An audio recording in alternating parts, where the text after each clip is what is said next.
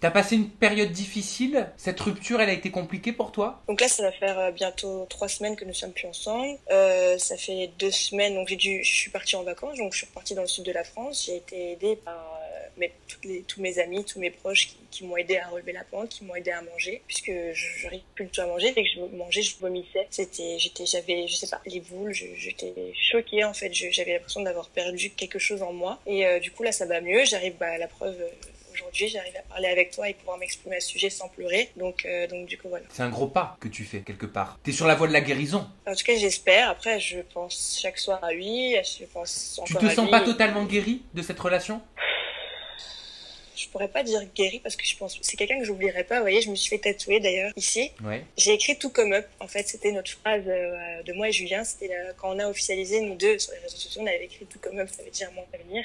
Et euh, du coup, euh, j'ai décidé de nous la faire tatouer pour euh, jamais oublier. Ah, tu t'es fait tatouer après la rupture La phrase de Julien Après. et toi que vous partagez Oui. Et t'es sûr que tu vas l'assumer toute ta vie, ça? Je l'assumerai toute ma vie parce que ça fera partie de moi et ça fera partie d'une leçon de vie. et, Que- Mais, mais pourtant, tu l'as connu que trois mois. Enfin, je sais que l'intensité ne se, ne se mesure pas au- autant, mais trois mois. Ouais, mais ça fait partie de ma vie. C'est comme ça. C'est j'ai eu deux copains.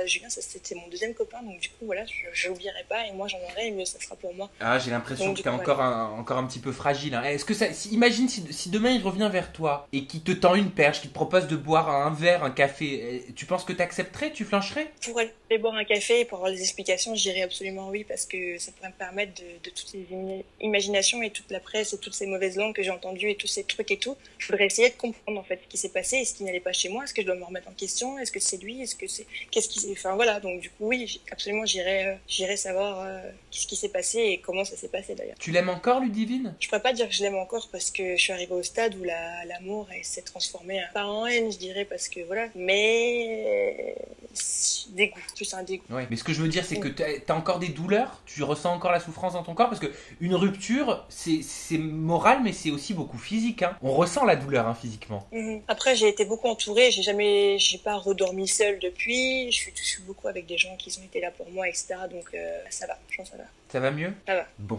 écoute, bah écoute, je souhaite que ça s'arrange complètement et tu verras, hein, c'est comme toutes les ruptures, hein. c'est souvent dur au début, les premières semaines, peut-être les premiers mois à cicatriser, mais on s'en remet, on s'en remet, doute voilà. pas. Et, doute et- pas. et tu finiras par rire de tout ça et vous finirez certainement par vous, par vous revoir euh, euh, de façon amicale, euh, en Bah, riant on m'a proposé de, venir sur le mic pour pouvoir donner ma version et tout, mais je suis absolument pas prête d'être face à lui et de pouvoir Ah, je peux comprendre. sujet. Ça, c'est une autre histoire. C'est une autre histoire. Rouliane, t'as des nouvelles ou pas? Parce qu'on rappelle que t'avais participé au Prince de l'amour 4. Je suis pas sûr que t'étais vraiment amoureuse de lui. Hein. Non, j'ai pas été amoureuse de Rouliane. C'est quelqu'un auquel j'ai passé de beaux moments aussi dans mon aventure. Après, lui a choisi Lily, euh, contrairement à moi. Et euh, voilà, je respecte son choix comme je l'ai toujours respecté. J'ai jamais euh, dit du mal de Rouliane et j'en dirai jamais parce que c'est quelqu'un avec qui je me suis bien entendue. Et voilà. Mais pourtant, t'étais dévouée. Moi, j'ai le souvenir de ton discours dans Les Princes de l'amour. Tu, tu partageais, tu semblais partager sa conception de la vie, euh, de, du- de l'égalité Ah oui, c'est quelqu'un. C'est quelqu'un. S'il m'aurait choisi, j'aurais pu.